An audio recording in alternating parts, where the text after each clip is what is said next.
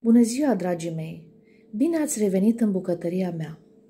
Pentru astăzi m-am gândit să fac pâine de casă, pentru că este mult mai sănătoasă decât cea din comerț, care conține, după cum bine știți, mulți aditivi pentru menținerea prospețimii.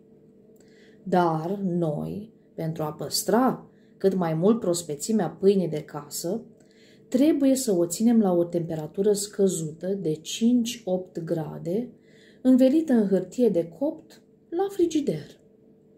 Să trecem la treabă. Ingrediente necesare. Făină albă 1 kg, eu am folosit de la Boromir.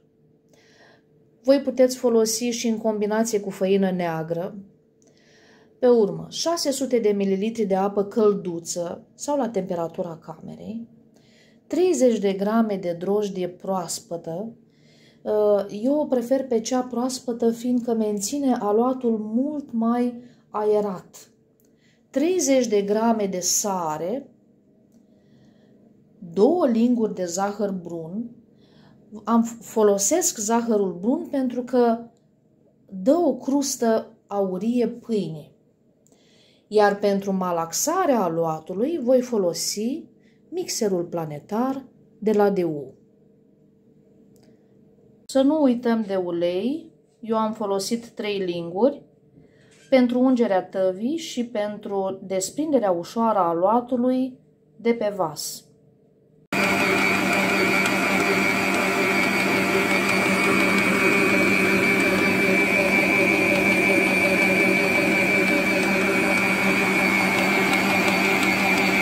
Transferat aluatul în alt vas, peste care voi pune folia alimentară și îl voi lăsa la dospit circa 3 sferturi de oră.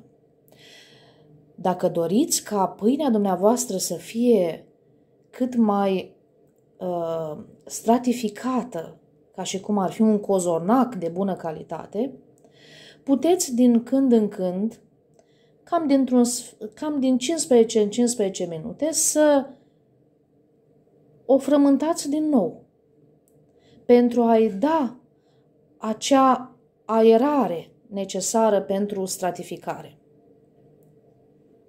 Haideți să vă arăt după 15 minute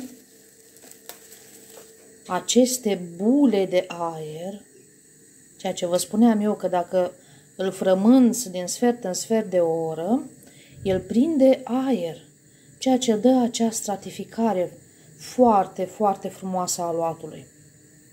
Cam așa arată pâinea la final. Voi uh, încerca să vă tai o felie ca să vedeți cât este de bună. Se aude cât este de crocantă coaja? Poftă bună!